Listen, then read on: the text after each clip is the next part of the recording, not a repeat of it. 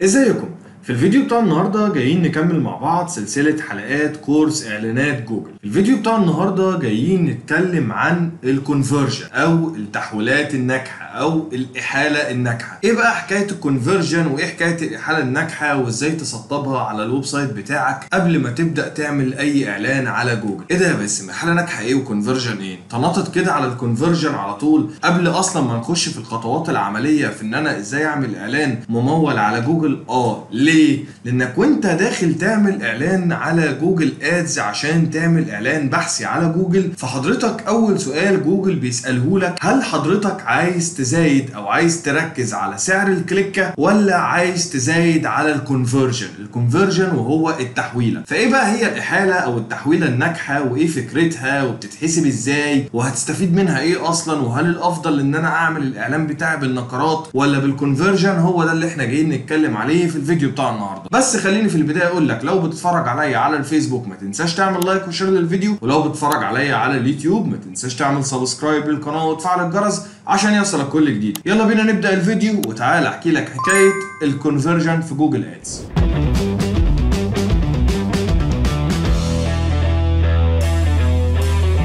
بص يا معلم إيه بقى حكاية ال conversion دي؟ قبل ما نخش في الخطوات العملية خلينا اشرحها لك كده ببساطة وبالبلدي عشان تفهمها. موضوع ال conversion ده حضرتك أي حد عنده متجر إلكتروني أو عنده business online طبيعي جدا إن هو لما يجي يعمل إعلانات ممولة يبدأ يفكر تفكير مهم جدا. التفكير ده بيقول إيه؟ إن هو بيبقى عايز يحسب تكلفة العميل واقفة معاه بكام. يعني أنا صرفت إعلانات ممولة قد إيه ورجع لي كام عميل والعميل الواحد كلفني قد إيه. لأن لو قدرت أعرف تكلفة العميل الواحد هقدر أعرف هل أنا ماشي في الطريق السليم ولا لأ. وهل أنا مثلا لو العميل الواحد مكلفني 100 جنيه فبالتالي إن أنا لو صرفت 1000 جنيه فهقدر أجيب 10 عملاء. فبالتالي أبدأ أقارن ما بين التكلفة بتاعتي اللي أنا هدفعها في الإعلانات وما بين الربح اللي هيجي لي من خلال الإعلانات دي أو صافي العائد اللي هيجي لي من خلال الإعلانات دي. فعشان كده بنلجأ لطريقة ال conversion أو عشان كده في حاجة المفروض إن حضرتك تتعلمها وتعرفها اسمها ال conversion أو الإحالة الناجحة أو التحويلة الناجحة. إيه ال conversion دي؟ ببساطة هي تكلفة العميل الواحد. العميل الواحد واقف معاك بكام أو واقف عليك بكام. ففي جوجل لما بتيجي تعمل إعلانات وتخلي التركيز على ال conversion وإحنا لسه هنشرح الحتة دي فبتلاقي دايما إن أنت عندك في ال metrics بتاعتك أو في النتائج بتاعة الإعلان بتاعك حاجة اسمها التكلفة بتاعة ال conversion التكلفة بتاعة ال conversion أو ال average conversion أو تكلفة متوسط التحويلة دي معناها إيه؟ إن هو بيجيب إجمالي تكلفة التحويلات يقسمها على عدد إجمالي التحويلة عشان يجيب لك متوسط تكلفة التحويلة الواحدة. طب أنا برضو لسه مش فاهم. بص يا معلم دلوقتي أنت لو عملت إعلان ممول مثلا سواء على الفيسبوك أو على جوجل آدز وجه عميل نقر على الإعلان بتاعك ودخل على الموقع الإلكتروني بتاعك واشترى منه فدي بالنسبة لك أنت تحويلة ناجحة لأن ده بالنسبة لك عميل بالفعل عمل عملية purchase عمل عملية دفع. في سؤال بقى هنا مهم جدا هيبدأ يدور في بالك. طب لو أنا أصلا ما ببيعش منتجات لو أنا أصلا شركة خدمية إزاي أقدر أعرف كام عميل اشترى مني؟ هي دي بقى اللعبة. اللعبة يا معلم إنك أنت لازم تعرف جوجل مين هو العميل اللي بالنسبة لك بتعتبره تحويلة ناجحة. فلو هنفترض جدلا إن إحنا عندنا نوعين من العملاء أو نوعين من ال business لو أنا ببيع منتج أو لو أنا بقدم خدمة. لو أنا ببيع منتج فبالتالي المنطق يعني بيقول إن بالنسبة لي التحويلة الناجحة هو الشخص اللي دخل على المتجر أو الموقع الإلكتروني بتاعي وعمل بالفعل عملية دفع. ده طبعا في حالة إن الموقع كان فيه payment online أو دفع إلكتروني. طب لو الموقع ما فيهوش فيه دفع إلكتروني يبقى بالنسبة لي في الحالة دي بالنسبة لي التحويلة الناجحة أو ال conversion الناجحة هو العميل اللي دخل ضاف منتج في السلة وطلب ال order بغض النظر إن هو عمل بقى عملية الدفع cash on delivery ولا ما نفذش بالفعل عملية البيع؟ لأن جوجل في الآخر هي مش قاعدة معاك هي مش قاعدة في شقتك ولا قاعدة في شركتك ولا تعرف أنت بالنسبة لك عملت تحويلة ناجحة ولا فاشلة ولا عملت ولا ما عملتش. فهي بتقول لك عرفني عرفني إيه هي التحويلة الناجحة بالنسبة لك علشان أقدر أحسب لك ال ROAS بتاعك أو ال return on investment أو اللي هو معدل الربح بتاعك على اللي أنت بتصرفه في الإعلانات طالع بكام وأقدر أحسب لك متوسط تكلفة التحويلة طالعة بكام. وأقدر أقول لك لك في ال metrics أو إحصائيات الإعلان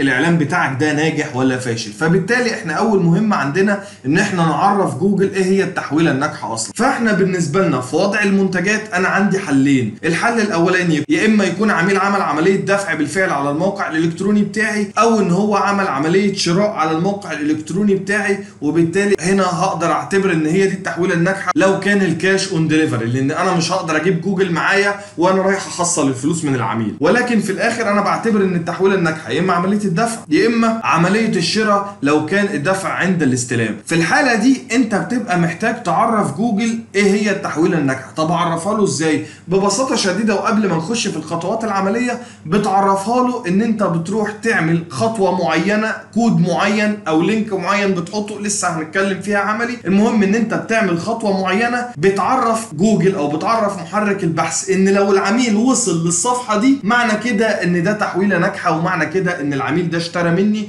أو لو ما دفعش أونلاين معنى كده إن هو يعتبر من التحويلات الناجحة للناس اللي اشترت cash on delivery طب إزاي؟ أو المنطق بيجي إزاي؟ تعال نحسبها كده بالمنطق. لو أنا عندي موقع فيه دفع إلكتروني فبالتالي إن أي عميل هيعمل عملية دفع إلكتروني لازم بعد كده بعد عملية الدفع أو بعد إتمام عملية الدفع بيطلع له فاتورة ويقول له إن تم الدفع بنجاح وإن حضرتك اشتريت المنتج ده ودي الفاتورة بتاعتك. معنى كده إن أنا هروح أحط التحويلة بتاعتي في الصفحة اللي بتظهر للعميل بعد عملية الدفع. فبالتالي أي عميل هيعدي على الصفحة دي ويروح لها مليون المية هو عدى قبلها على صفحة الدفع الإلكتروني. فبالتالي هو بالنسبة لي تحويلة ناجحة. أما لو كان مفيش دفع إلكتروني فأقصى حاجة هقدر أعتبرها في الموقع بتاعي أو في المتجر بتاعي إن التحويلة الناجحة كل من هو ضاف منتج في السلة وأتمم عملية الشراء علشان يعمل cash on delivery بغض النظر بقى العميل دفع بعد كده في ال cash on delivery ولا ما دفعش. طب ده حلو ده في حالة المتجر أما في حالة الخدمات بقى يا معلم إيه هو التحويلة الناجحة؟ إذا كان أنا دلوقتي عميل بقدم خدمة وعملية الخدمة أو عملية الدفع ما بتتمش أصلا من على الموقع الإلكتروني بتاعي ومفيش حاجة يستلمها cash on delivery إزاي أقول لجوجل على التحويلة الناجحة لو أنا عايز أعمل الإعلان بتاعي إن أنا أركز في ال bid strategy أو في في المزايدة يعني على التحويلات؟ هنا جوجل بقى بتبدأ تديك أكتر من اختيار زي على سبيل المثال إنك أنت ممكن تعتبر التحويلة الناجحة بتاعتك إن عميل دخل على الموقع بتاعك وراح لصفحة اتصل بنا وإن العميل ده اتواصل معاك فبالتالي دي تعتبر تحويلة ناجحة. ملوش دعوة بقى العميل بعد كده اشترى منك ما اشتراش ده أقصى حاجة جوجل يعرف يعملها معاك لأن الخطوة الجاية إن هيبقى ناقص يجي يقعد معاك في البيت. فهو ده بالنسبة له هتبقى التحويلة الناجحة اللي حضرتك هتقولها له. الحاجة الثانية إنك أنت مثلا ممكن تعتبر التحويلة الناجحة هو كل شخص اتصل بيا من الإعلان الممول بتاعي. على سبيل المثال. وممكن تعتبر إن التحويلة الناجحة إن كل شخص دخل على صفحة ال lead form بتاعتي على سبيل المثال. وممكن برضو تعتبر إن التحويلة الناجحة هو كل واحد حمل تطبيقي أو لو أنا عامل إعلان لتطبيق على Apple Play Store أو على Google Play Store فأنا عايز أعتبر التحويلة الناجحة هو كل من دخل على الإعلان بتاعي ونقر عليه وعمل فعلا تحميل للتطبيق بتاعي على ال Play Store على الموبايل عنده أو على Google Play Store فدي بالنسبة لي تحويلة ناجحة. بالبساطة كده وبالبلدي التحويلة الناجحة هي إنك أنت توصل للهدف بتاعك بشكل ناجح من خلال إعلانات جوجل.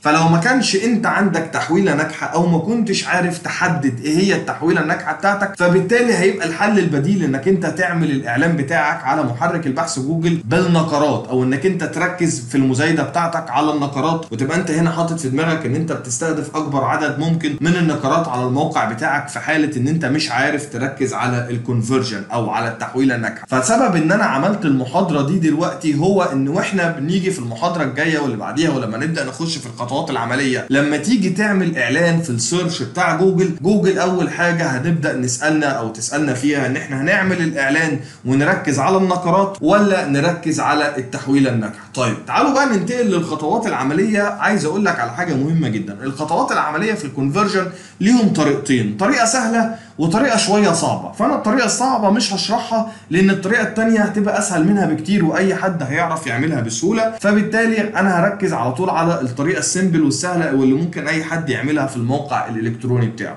يلا بينا ننتقل للشاشة ونخش على الخطوات العملية. أول حاجة هتعملها لما تفتح حساب الإعلانات بتاعك على جوجل هتدوس على tools وبعد كده تنتقل لصفحة ال conversions بعد كده هيفتح لك الصفحة دي وهتبدأ ت set up أول conversion هتدوس على new conversion action وبعد كده هيقول لك اختار انت عايز تعمل tracking لإيه؟ إيه ال conversion الناجح بالنسبة لك؟ إيه هي الإحالة الناجحة بالنسبة لك أو التحويلة الناجحة؟ أول حاجة هيبقى عندك اختيار ال website أو ال mobile application أو المكالمات بتاعه الإعلان أو المكالمات اللي بتيجي من على ال website بتاعك أو إن أنت تاخد data من موقع Google Analytics وده موضوع هنتكلم فيه مؤخرا بعد ما نخلص أساسيات أو كورس أساسيات جوجل إن شاء الله. نرجع هنا يبقى إحنا عندنا هنا ثلاث خيارات. لو نيجي ندوس هنا على ال website عشان إحنا نحدد الموقع الإلكتروني بتاعنا فهنبدأ نكتب ال website بتاعنا. أبدأ أعمل scan بيقول لي تمام قشطة ال website done فهو هنا بقى بيقول لك يا معلم عشان تعمل conversion انت عندك طريقتين. الطريقة ال manual وهي إن انت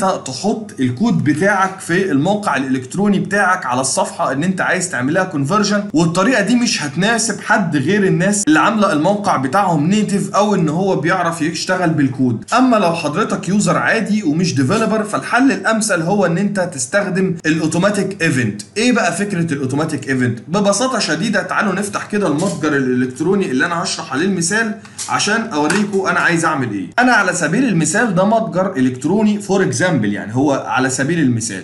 هنفترض جدلا إن أنا عايز أعد كام واحد عمل عملية دفع أو اشترى يعني من الموقع بتاعي وأنا الموقع ده لا يدعم خدمة الدفع الإلكتروني. فأنا بالتالي عايز أعرف كام واحد دخل على الموقع بتاعي وضاف منتجات في السلة وعمل طلب شراء على الموقع بتاعي. هنعملها إزاي؟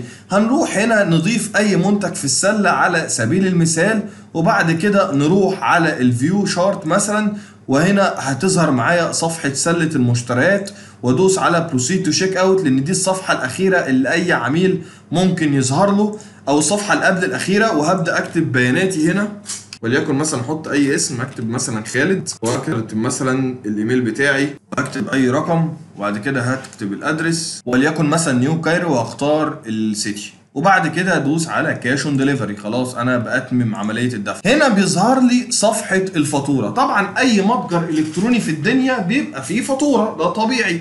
فبالتالي دي آخر صفحة ممكن العميل يوصل لها طالما هو عمل طلب على الموقع الإلكتروني بتاعي. يعني ببساطة كده تفتكر إن في عميل ممكن يوصل للصفحة دي إلا لو كان دخل عمل طلب من الموقع الإلكتروني بتاعك؟ أو لو إحنا عندنا عملية دفع إلكتروني وانت عملت عملية الدفع ورحت بعد كده للفاتورة. تفتكر إن في عميل هيقدر يروح للصفحة دي إلا لما يكون عمل دفع إلكتروني؟ أكيد لأ. فبالتالي أنا دي الصفحة اللي أنا محتاج أعمل لها conversion وأقول لجوجل إن طالما العميل عدى على الصفحة دي ووصل لها فدي بالنسبة لي تحويلة ناجحة. طب نعملها إزاي؟ خلي بقى الصفحة دي مفتوحة ونرجع لجوجل تاني.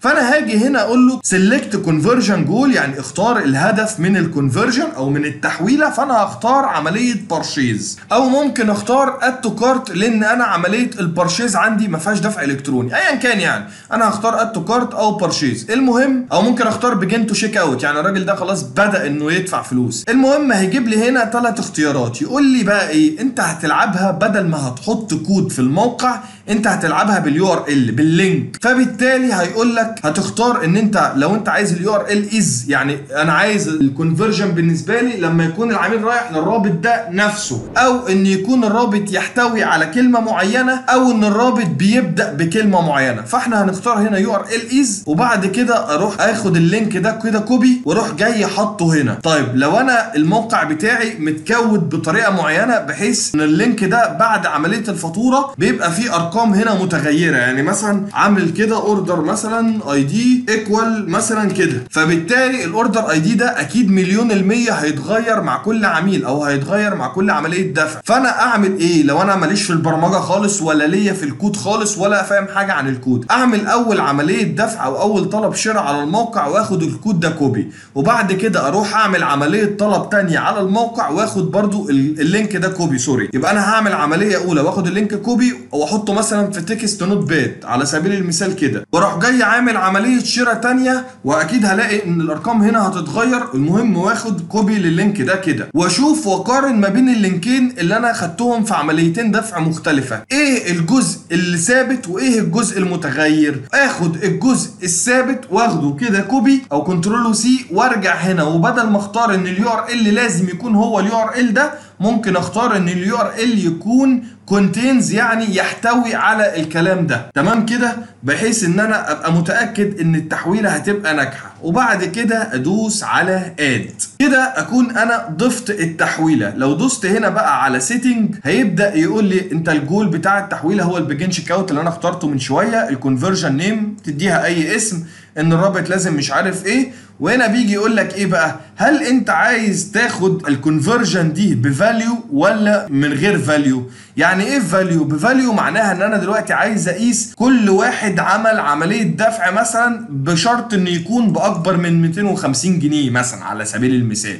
فانا ممكن اختار ان أنا اختار ان هو ما ياخدش ال value أنا بالنسبة لي مش فارقه العميل اشترى بكام. المهم ان أنا بالنسبة لي هي تحويله ناجحه أو ان أقول له use the same value for each conversion يعني بالنسبة لي كل تحويله بتمثل لي مثلا دولار أو 10 دولار. والحاله دي أنا بستخدمها لما اكون أنا أصلا بعلن عن خدمة.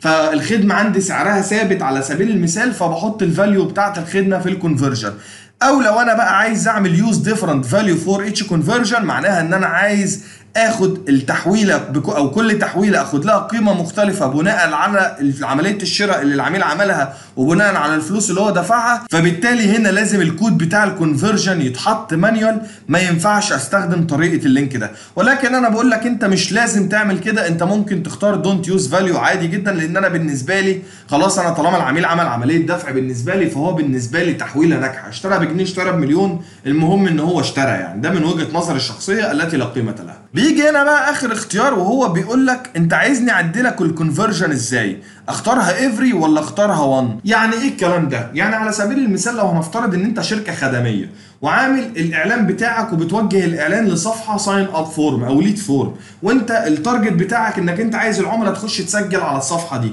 فهو بقى بيسألك لو هنفترض جدلا إن عميل دخل سجل مرتين أعتبره لك مرة ولا أعتبره لك مرتين؟ لو هعتبره لك مرة يبقى أنا هنا هختار 1 أما لو هعتبره لك مرتين يبقى أنا هختار هنا every ولكن في حالة المتجر الإلكتروني يبقى أنا لازم أختار هنا every لأن حتى لو العميل الواحد دخل اشترى كذا مرة فبالنسبة لي كل عملية دفع ناجحة تعتبر conversion ناجحة أو تعتبر تحويلة ناجحة فبالتالي يفضل إن أنا أستخدمها every وبعد كده بدوس على done وبعد كده بدوس على save and continue بعد كده بيقول لك خلاص التحويلة تمام بس بيقول لك روح اتأكد إن التحويلة شغالة ماشية معاك زي الفل مفيش فيها أي مشكلة فهندوس finish فهيبدأ ينقلنا لصفحة ال track وبعد كده هندوس على troubleshoot عشان نتأكد إن التحويلة تمام. وهندوس على continue هيبدأ يقول لك حط الموقع بتاعك أو ال link بتاعك يعني فماشي okay أنا ممكن أحط ال link بتاعي. بعد كده بدوس على connect بيبدأ يعمل connect هنا كده للموقع بتاعك وبيبدأ يفتحه. فحضرتك المفروض إن أنت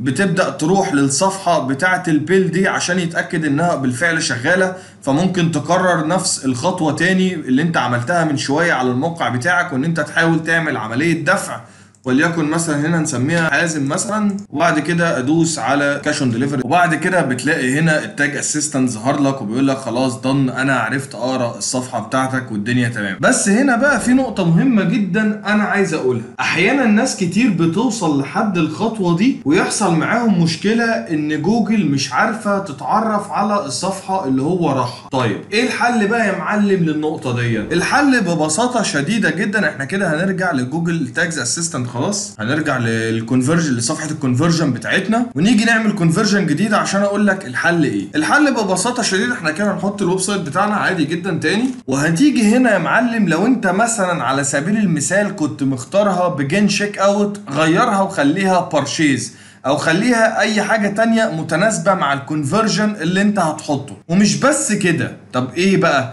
يعني هنفترض جدلا إن إحنا هنعمل conversion لكل الناس اللي هتروح لصفحة اتصل بنا. هتروح لصفحة اتصل بنا. نعملها إزاي؟ هنختار هنا ال contact تمام كده؟ وبعد كده بدل ما نختار إن ال URL يكون كذا هنختار إن ال URL يكون متكون من كذا. ونيجي هنا كده ملناش دعوة بال URL كله وهناخد بس كلمة contacts دي اللي موجودة في ال site اللي هي بتدل على صفحة اتصل بنا. ونبدأ نحطها هنا كده. يبقى أنا كده بقول له إن أنا أعتبر ال conversion هو صفحة اتصل بنا على سبيل المثال. لما يكون ال URL أو ال link اللي أنا رايح له يكون يحتوي على كلمة contacts وممكن أخليها contact كمان يعني أقلل من الكلمة حرف علشان ال sensor يشتغل بشكل أقوى. وبعد كده أدوس add بعد كده هدوس على ال setting وهقول له هنا إن أنا أخليها من غير value وبعد كده أدوس done وبعد كده أدوس save and continue هيقول لي هنا تمام الدنيا دوس finish هتلاقي هنا ظهر لي troubleshoot جنبيها هدوس عليها علشان أبدأ أعمل لها test أشوف ال conversion شغال هو جوجل آراه ولا لأ وأدوس على connect هيبدأ ي connect بال website بتاعي هيبدأ يفتح الموقع الإلكتروني. المفروض إن هو هنا يجيب لي done بعد ما أروح لصفحة تكون ال link بتاعها يحمل كلمة contact أنا هروح لصفحة contact us وبعد ما أروح لصفحة contact us لقيته هنا قرا معايا ال contact طب لو عملت نفس المشكلة أعمل إيه؟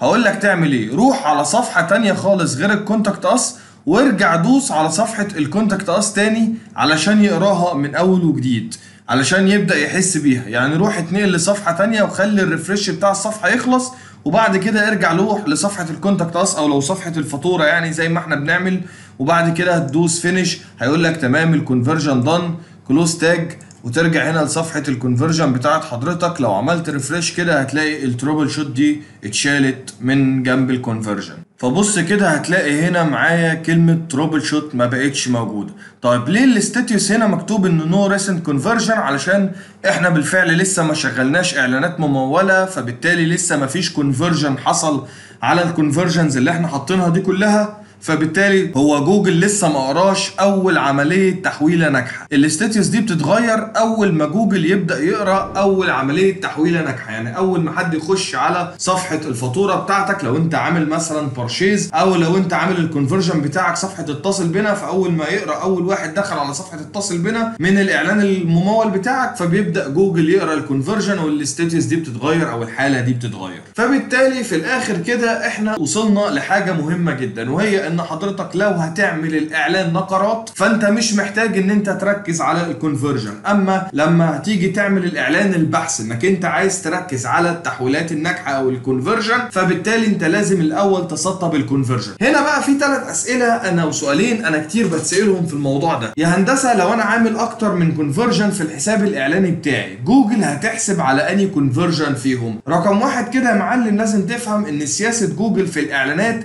بتعتمد الحساب الإعلاني الواحد بس بيمثل شركة واحدة بس أو بيمثل نشاط تجاري واحد بس. فبالتالي جوجل ما بتعتمدش إنك أنت حضرتك ممكن تخش تعمل 50 conversion ل 50 موقع إلكتروني مختلفين. ولو عايز تعمل ده علشان كده هم عاملين الحل بتاع جوجل ads manager إنك أنت تعمل حساب مدير إعلاني زي ما أنا شرحت لك في المحاضرة الرابعة إزاي تعمل أو إزاي تضيف مدير للحساب. بحيث إن أنت لما بيبقى عندك حساب مدير بتقدر تخش تعمل campaign في كل حساب إعلاني تحت المدير وكل حساب إعلاني يبقى ليه ال conversions بتاعته. طيب السؤال الثاني لو أنا خلاص أوكي أنا الحساب الإعلاني الواحد بستخدمه لنشاط واحد أو لمتجر إلكتروني واحد بس أنا عايز أعمل أكتر من conversion عايز أعمل conversion للمكالمات و conversion لعملية ال purchase مثلا على سبيل المثال. جوجل دلوقتي هتطلع لي سعر تحويلة أو سعر التحويلة أو سعر ال conversion بكام؟ جوجل يا معلم هتطلع لك متوسط سعر ال conversion يعني هتعمل إيه؟ ببساطة كده هتجمع تكلفة ال conversions كلها اللي حضرتك عاملها في صفحة ال conversion اللي هي الاتصال وال purchase ومش عارف إيه وإيه وإيه وإيه كل ال conversions دي. هتجمعها على بعض هتجمع تكلفتها وتقسم على عددهم وتدي لك متوسط التكلفة بتاعة ال conversion معنى كده إن أنت لما هتعمل أكتر من conversion هي المفروض إن هي هتعتمد لك على المتوسط بتاع ال conversions كلها. هي دي الفكرة ببساطة شديدة. أتمنى يكون الفيديو ده عجبك. لو عجبك الفيديو ما تنساش تعمل like و share لو بتتفرج عليا على الفيسبوك ولو بتتفرج عليا على اليوتيوب ما تنساش تعمل سبسكرايب للقناة وتفعل الجرس عشان يصلك كل جديد. واستناني في محاضرات جديدة. والسلام عليكم ورحمة الله وبركاته.